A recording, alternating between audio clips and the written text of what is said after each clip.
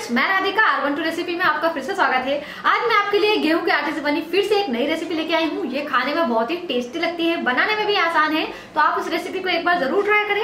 Recipe अच्छी लगे तो वीडियो को लाइक करें शेयर करें चैनल को सब्सक्राइब करना ना भूले। तो चलिए इस रेसिपी को बनाना शुरू करते हैं। जिसे बनाने के लिए मैंने आप मेजरिंग कप से एक कप गेहूँ का आटा लिया है। तो सबसे पहले हम गेहूँ के आटे को एक बाउल में डाल लेंगे। अब इसमें हम डाल देंगे आधी चम्मच अजवाइन। इस तरह से अजवाइन को हम थोड़ा सा क्रश करके डालेंगे। तो बहुत ही बढ़िया टेस्ट आता है।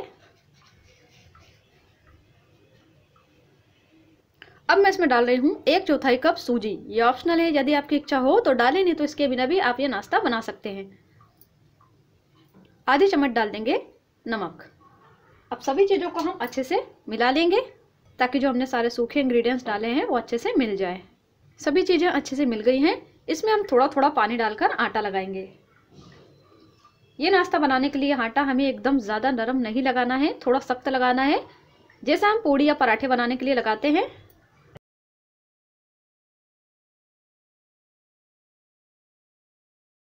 आटा गूंथ कर तैयार है। इतना आटा लगाने के लिए मुझे आधा कप के ऊपर थोड़ा पानी और यूज़ हुआ है।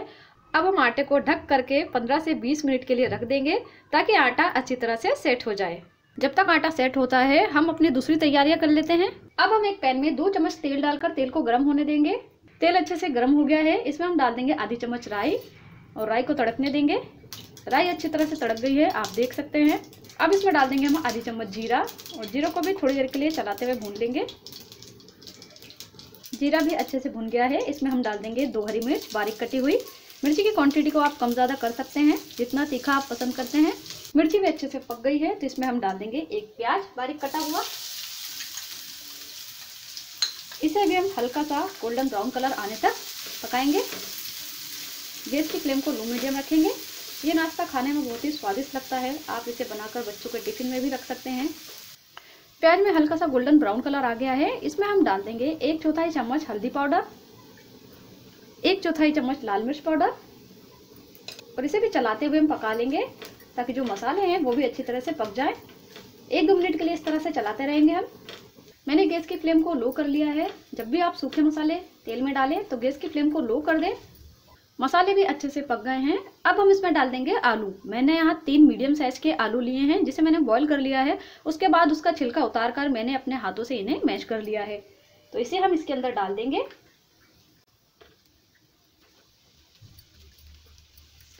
फिर इसमें डाल देंगे हम आधी चम्मच नमक, या नमक आप, आपके टेस्ट के अकॉर्डिंग कम ज़्यादा कर सकते हैं। अच्छे से मिला देंगे। आलू को अच्छी तरह से मैश करिए। इसमें बड़े टुकड़े बिल्कुल भी नहीं रहना चाहिए। इस तरह से आप चम्मच से इसे दबाते रहिए, ताकि जो इसमें बड़े टुकड़े होंगे, वो भी आसानी से मैश हो जाएँगे। अब हम इसे एक दो मिनट के लिए चलाते हुए पका लेंगे। दो तीन मिनट हो गए हैं, मैंने इसे पका लिया है। अब हम इसमें डाल देंगे आधी चम्मच चाट मसाला, दो चम्मच नींबू का रस आप यहाँ पर नींबू के रस की जगह आमचूर पाउडर का भी इस्तेमाल कर सकते हैं। अच्छे से मिला देंगे। अब ये स्टफिंग तैयार है। गैस को हम बंद कर देंगे और इसमें डाल देंगे थोड़ा सा हरा धनिया, बारीक कटा हुआ। वापस से अच्छे से मिला देंगे। अब हम इस स्टफिंग को ठंडा होने देंगे। स्टफिंग अच्छे से ठंडी हो गई थी तो मैंने इसे एक बाउल में ट्रांसफ़र कर लिया है। अब हम चलते हैं अगली प्रोसेस की तरफ़। पंद्रह से बीस मिनट हो गए हैं, आटा भी अच्छी तरह से सेट हो गया है। तो अब हम आटे को एक बार अच्छी तरह से वापस से मसलेंगे। अब हम इसमें से थोड़ा सा पोर्शन लेकर इसे लोई की तरह गोल करेंगे, इस तरह से। अब हम इस लोई को बेलेंगे, जैसा हम रोटी बेलते हैं। बस ध्यान रहे, हमें इसे पतला बेलना है। बेलने के लिए आप सूखे आटे का भी इस्तेमाल कर सकते हैं या तेल का इस्तेमाल कर सकते हैं। अब हम इसके ऊपर ये स्टफिंग डालेंगे और इस तरह से स्टफिंग को हल्का सा प्रेस कर देंगे।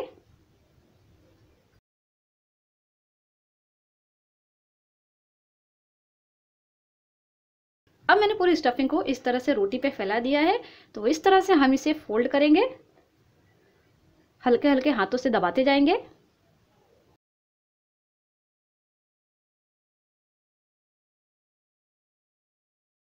इसके किनारे पर हम पानी लगा देंगे और इस तरह से चिपका देंगे, ताकि ये खुले नहीं। ये देखिए। अब हम इसे कट करेंगे। इसके आगे के हिस्से को कट करके निकाल देंगे।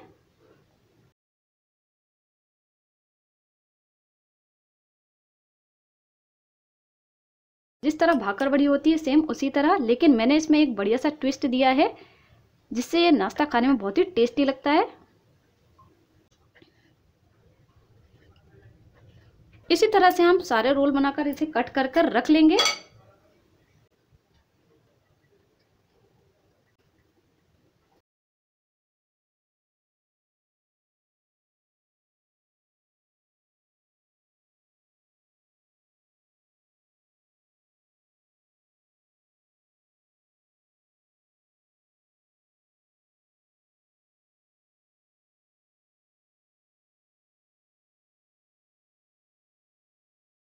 मैंने सारे रोल्स को बनाकर इस तरह से कट कर कर रख लिया है। अब हम चलते हैं अगली प्रोसेस की तरफ़। अब मैंने एक बाउल में तीन से चार चम्मच कॉर्नफ्लोर लिया है। कॉर्नफ्लोर की जगह आप मैदा भी ले सकते हैं। अब मैं इसमें डाल रही हूँ एक चौथाई चम्मच हल्दी पाउडर। अब मैं इसमें डाल रही हूँ एक चौथाई चम्मच से भी कम नमक। नमक थोड़ा ध्यान से डालें, क्योंकि हमने स्टफिंग में भी नमक डाला है। हमने आटे को गूथा था, तब भी नमक डाला था। आप चाहें तो यहाँ पर नमक को स्किप भी कर सकते हैं। मैं यहाँ डाल रही हूँ। अब हम सभी चीज़ों को अच्छे से मिला लेंगे। और अब हम इसका एक घोल तैयार करेंगे। पहले थोड़ा पानी डाल के अच्छी तरह से घोले। तो देखिए, इस तरह का घोल हमें तैयार करना है। इतना घोल लगाने के लिए मैंने एक चौथाई कप के ऊपर थोड़ा पानी लिया है। अब मैंने एक कढ़ाई में तेल डालकर तेल को गर्म होने के लिए रख दिया था। अब जो हमने नाश्ता बनाया था, उस नाश्ते को हम इस तरह से इस घोल में डिप करेंगे। जो हमने घोल तैयार किया था, इस घोल के अंदर डिप करने के बाद हम इसे तेल में डाल देंगे।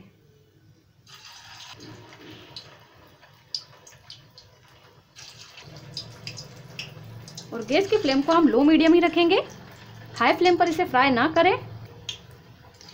जितने एक बार में कढ़ाई में ये नाश्ता आ जाएगा, हम उतने नाश्ते कढ़ाई के अंदर डाल देंगे।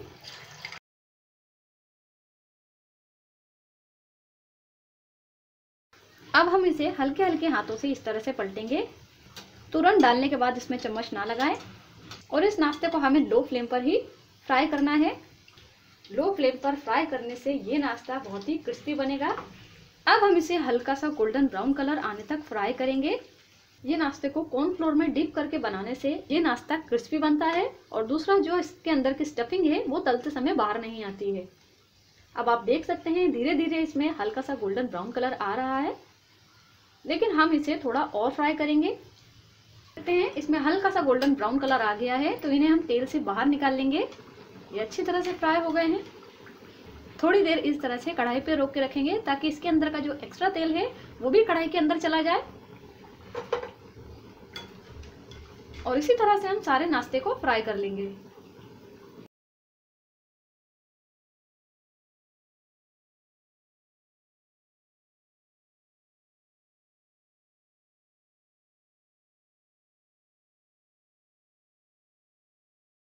सारा नाश्ता फ्राई कर लिया है तो गैस को बंद कर देंगे। और इन्हें भी तेल से बाहर निकाल लेंगे।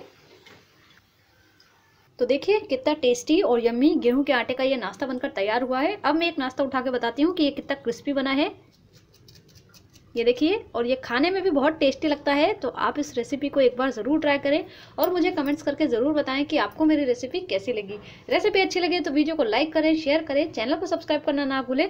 तो फिर मिलते हैं एक नई रेसिपी के साथ। Thank you friends for watching my video.